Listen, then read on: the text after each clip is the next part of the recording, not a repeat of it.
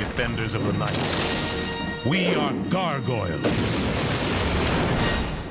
Gargoyles, 1994, Cartoon Explorer. Not all of us were lucky enough to watch Disney cartoons on TV back in the 90s. I mean, there were afternoon shows, Saturday and Sunday morning shows. These were not just cartoons, but something that children of the 90s loved and cherished.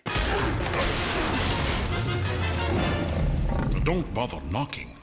After all, After all these years, we have Netflix and Disney Plus, but easy access to something tends to reduce its importance, right? Nevertheless, back in the day, Disney brought out a dark and rather violent show named Gargoyles, a show that fit well in its culture shock tale and mythology.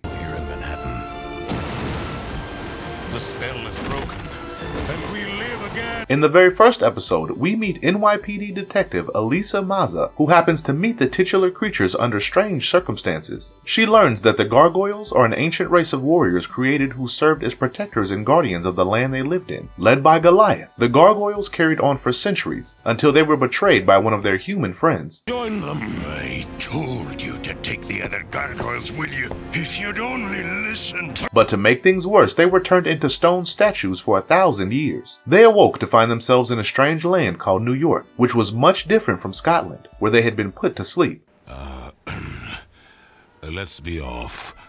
Coming. However, the gargoyles were not a race that gave up, and thus they began their quest to understand their new world and adapt to it. The show was essentially a fine blend of horror and science fiction genres, but it contained heavy doses of Shakespearean imagery, fantasy, and complex study of subjects such as morality, racism, and xenophobia. I believe it is time we began our exploration of the original gargoyle storyline and dived into their very awakening, as was seen in the cartoons. Let's get this thrill ride started already, shall we? Before we go into our explanation, we have a very small request. If you like our content, please support us by subscribing to our channel. This is a small click for you, but for us, it means a lot. Thank you, and let's begin.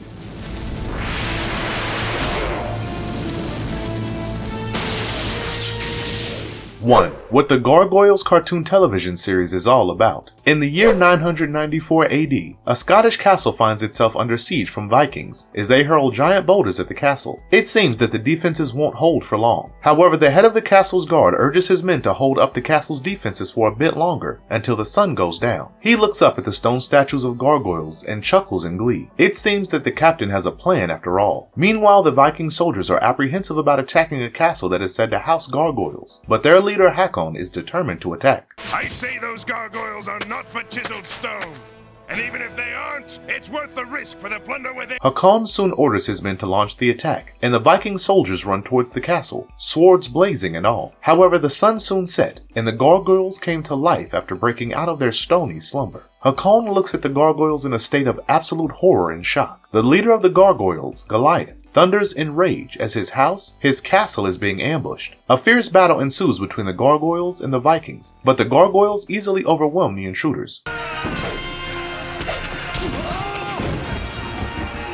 Thanks, Goliath. Hakon and the remaining soldiers flee with their lives, but Hakon promises to return another day. After the battle is done, the captain of the castle's guard invites Goliath and his love, Demona, to the royal celebratory dinner. However, the princess becomes furious because of their presence and appearance. The princess and her advisor, Magus, believe that the gargoyles are nothing but unnatural creatures, and no good can come with an alliance between them and the humans. Goliath understands the gravity of the situation and calms Demona down before leaving the celebratory dinner. The following day, the gargoyles once again find themselves turned to stone, but reawaken as night falls. You did not assume ancient warrior creatures and humans to live together without any scuffle, did you? Well, the gargoyles named Brooklyn, Lexington, and Broadway try to scare a mother for her rude nature when Goliath comes in and stops them. And as would be expected of him, the righteous Goliath imprisons them in the rookery. Meanwhile, the captain tells the Goliath that Vikings don't make idle threats, and if Hakon promised to return, it was only a matter of time before he actually did. Naturally, Goliath decides to leave the castle in search of Hakon and his army, while Demona remains back to guard the castle. Goliath and his most experienced comrade Hudson leave the castle in search of the Vikings, but realize pretty late that they have been tricked. They have been following horses which were a decoy to lead them as far away from the castle as possible. On the other hand, Hakon launched an attack on the castle at daybreak, and unfortunately for Goliath and his other gargoyles, they had turned to stone once again. It turns out that the captain had sided with Hakon and allowed the Vikings entry into the castle. Hakon then smashes all the gargoyle statues, effectively killing them, while the captain remains mute at the sight of what he has done. Soon Hudson and Goliath return to the castle, only to find it engulfed in flames and the crumbled remains of his kind. As Goliath picks up his dead girlfriend's brittle remains, he thunders in anguish. As Brooklyn, Lexington, Broadway, and Bronx come out, they find themselves consumed with grief. The realization that they are the only gargoyles left on Earth crumbles the mighty warriors. But Goliath is not one to give up. He swears to find Hakon and have his revenge. It is revealed that Hakon and the captain had taken the princess and Magus prisoners. As Magus the magician threatened Hakon with his book of spells, the Viking overlord tore one of the pages from the book and burned it.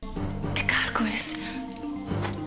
You're a dead man, Hakon. The spirits of the other prisoners were running low, but the tide turned when the gargoyles arrived at the encampment. Goliath followed the princess and her captors, while the other gargoyles fought or frightened the Viking soldiers. However, Magus assumed the worst and believed that the princess was dead, and clearly he blamed the gargoyles for her death. In a fit of rage, he opened his book of spells and cursed all but Goliath to remain stones until the palace reached above the clouds. Meanwhile, at the precipice overlooking the vast sea, Goliath stops Hakon from killing the princess. The captain and Hakon find themselves blaming each other to save themselves from the wrath of Goliath. One thing led to another, and Hakon and the captain fell from the cliff to their deaths. I've been denied everything, even my revenge! As Goliath returned to the camp with the princess, he was astonished to discover that all the gargoyles were turned to stone. The Magus revealed how he had cursed the gargoyles, and also said that the curse could not be undone because the page with the incantation had been burned by Hakon. In the end, Goliath asks the Magus to chant his spells one last time, and send him to sleep like the rest of his kind. Clearly, Goliath didn't want to be alone in the world. He had not only lost the love of his life, his people, but also the last of his comrades. Furthermore, he was hurt by the only human he ever trusted, the captain. A thousand years later, a man named David Xanatos comes to the castle, which is now in ruins. He reaches the top of the castle and lays his eyes on Goliath's statue in bewilderment and awe. We learn that Xanatos plans to take the gargoyles to his base in New York, and he seems to be a man of weak conscience. I mean, when his assistant, Owen Burnett, tells him that the locals would not be willing to work at the castle, Xanatos replies, You know the answer to that, Owen. Pay a man enough, and he'll walk barefoot into hell. It's not before long that the multimillionaire Xanatos had assembled a large crew of workers, choppers, etc. He was sending the gargoyle statues in large parts of the castle to his New York City skyscraper. Once the transportation was completed, we found Xanatos on his terrace with the Goliath statues. He waits for the sun to set, and things happen exactly as he had intended. Goliath comes to life once again. You are the one called Goliath? Yes. Excellent. All the gargoyles find themselves whole again after a thousand years, but they have much else to learn. Xanatos takes the gargoyles to his study and explains how he learned about the warrior beings. Once upon a time, Xanatos came across a book written by Magus who had cursed Goliath and the others. In the book, he detailed the entire episode of the Viking attack and its aftermath, including the curse. That's how Xanatos knew that the curse would be lifted if he brought the stone gargoyles to a skyscraper, which rose above the clouds. However, the building gets attacked by a few armed men, who seem to have come to steal something. Initially, the gargoyles do not trust Xanatos and watch the events unfold from the shadows. However, they soon realize that they were in their castle and protecting it was their immediate responsibility. A fierce battle ensues between the gargoyles and the armed men. They quickly learn that these humans are far fiercer than the Vikings and have weapons that resemble nothing less than sorcery. Xanatos also joins the fray and helps the gargoyles against the armed intruders. One of Xanatos' laser guns misses its target and levels one of the castle walls, sending the debris down on the street, where Detective Elisa Maza finds a massive boulder with claw marks and wonders what creature was strong enough to leave claw marks on such a strong object.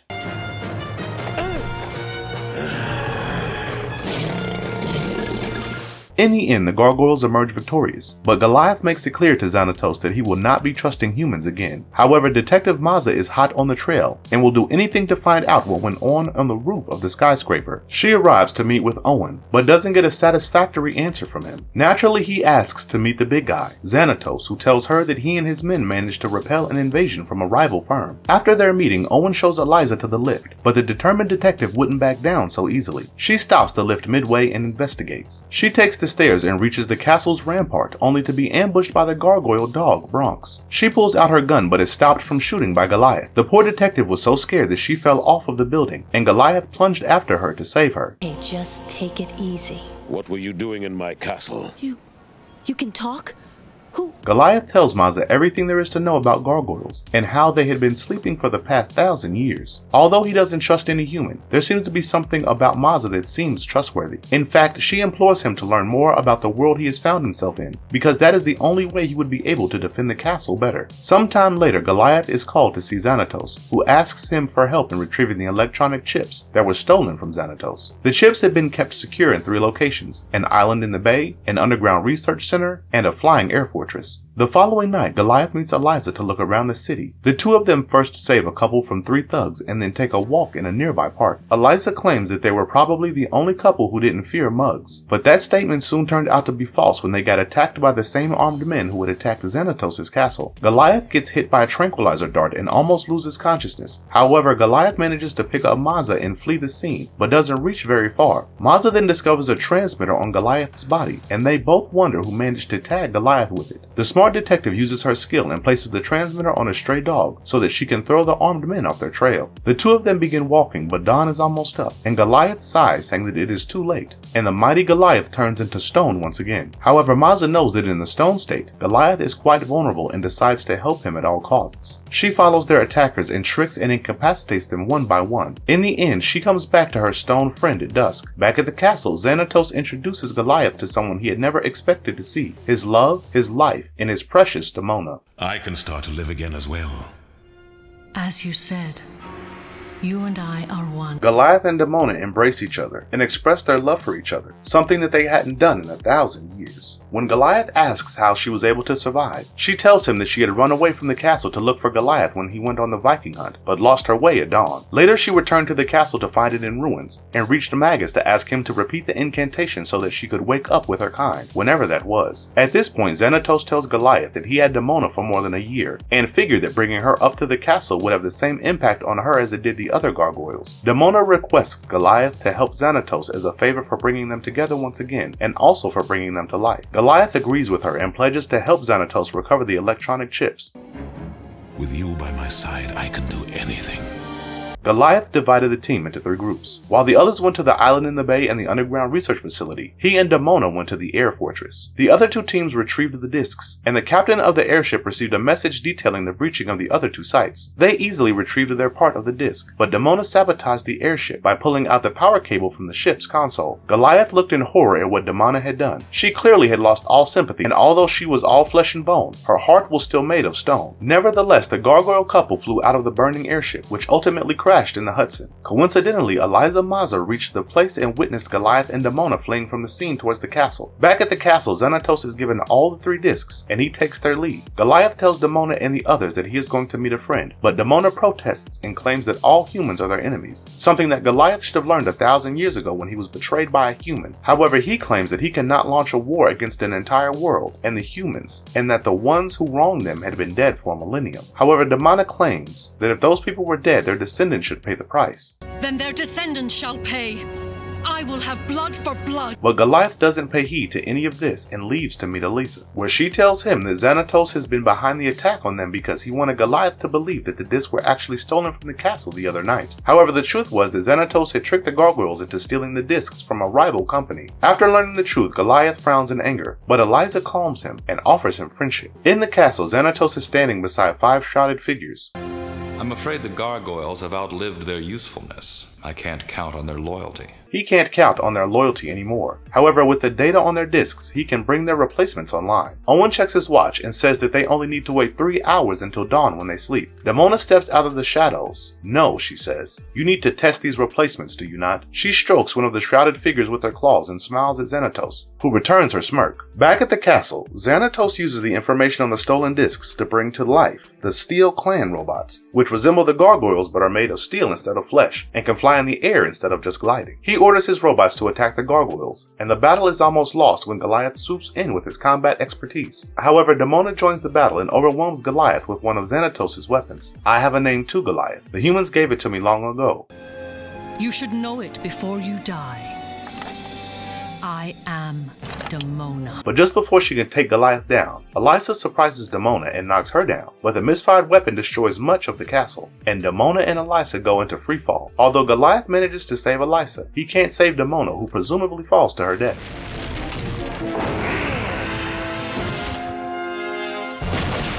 2. The cast. While we all know how uber cool the show was, not many people are aware that the Gargoyles cast consisted of many Star Trek alumni. We'll begin with James Avery, who played a passing role in the Star Trek franchise, and likewise he made a single appearance as Shaman in the episode titled Walkabout. Interestingly, Avery also voiced the famous TMNT villain Shredder. Next in line has to be the very beautiful Salli Richardson, who also had a small role in the Star Trek franchise, but played an important part in Gargoyles as the NYPD detective Elisa Maza. However, Miss Richardson also voiced the character of Eureka later in the show. Kate Mulgrew, who played Lady Titania, the Queen of Avalon in Star Trek, played crucial roles in Gargoyles as well. Marina Sirtis played the prolific villain Demona in the Gargoyles, a character whose evil side was only matched by the righteousness and power of Keith David's Goliath. Interestingly enough, Jonathan Frakes played David Xanatos, the rich playboy billionaire who survived on his money and technology to carry out his nefarious plans. Some may say that he was the villainous version of what Tony Stark later became in the Marvel Cinematic Universe.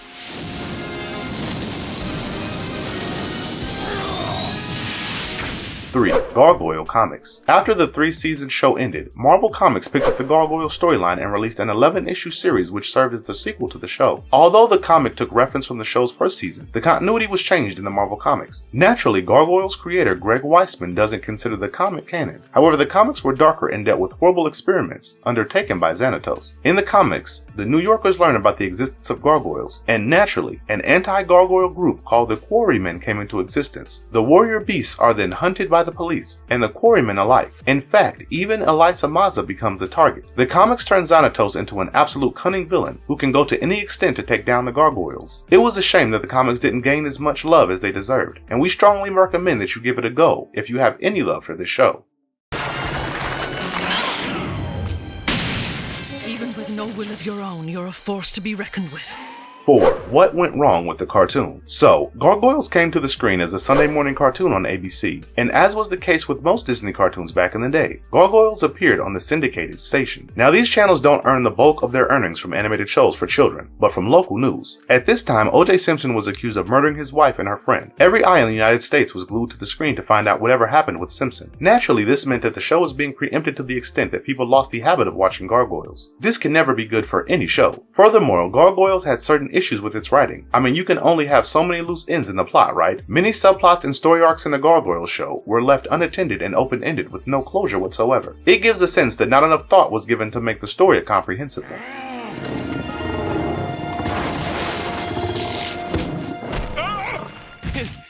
5. Best episodes not to miss. Without a doubt, we can say that the best episodes of the show were the five-part opening called Awakening, much of which we explained in the earlier entry. However, there were many other exhilarating and exciting episodes in the show. I do assume that you would not like it if we spoiled them for you, so we'll just introduce you to the names and seasons of these fine episodes. City of Stones, Season 2, Episode 9. Future Tense, Season 2, Episode number 43. The Mirror Season, Season 2, Episode 5. Reawakening, Season 1, Episode 13. Furthermore, you could not miss all the parts with the story arcs titled Avalon, Hunter's Moon, and The Gathering. If you cannot get rid of all the humans, then at least rid me of that human. Elisa Maza. 6. Interesting facts. Although Greg Weisman doesn't get a creator credit, he was the creator of the show. But where did the inspiration come from? Well, the school teacher and part-time writer of DC Comics took the inspiration for his magnificent warrior beasts from cartoon shows such as The Simpsons and Gummi Bears, such as TV shows from Hill Street Blues, and also from writers such as Shakespeare and Faulkner. However, the most prominent inspiration behind the outlook of the gargoyles came from the Celtic mythology. You're too late this time, old soldier. You can't fight all of us. The show was dark in various senses, but its most unique aspect was the gray area in which its villains lived. I mean, David Xanatos was portrayed as the big bad guy of the show, who was always after the gargoyles. However, Xanatos goes through a psychological makeover after Goliath saves his newborn. Not many are aware of this, but gargoyles have strange physiology. Their daytime sleep not only rejuvenates their bodies, but they absorb energy from the sun, which increases their strength at night. Furthermore, the female gargoyle can lay one egg every 20 years, and although the pregnancy lasts for just half a year, the egg takes almost a decade to hatch. Moreover, the gargoyles are divided into various clans, for instance. Goliath's clan is called the Manhattan clan. You can think of this as the Yautja clans from the Predator universe. Also, there are several clans from robotic and cybernetic origins.